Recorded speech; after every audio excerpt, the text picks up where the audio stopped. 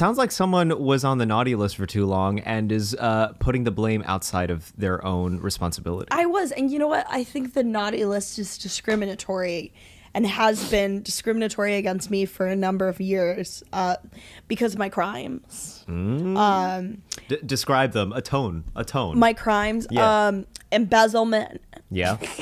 wire fraud, um, tax, um, attraction, not a, not Oh. evasion. So- I, I didn't evade my taxes. You put I- on some tax perfume and lured them away uh, from the, from their wives. I was like the Ashley Madison of taxes. oh. Yeah.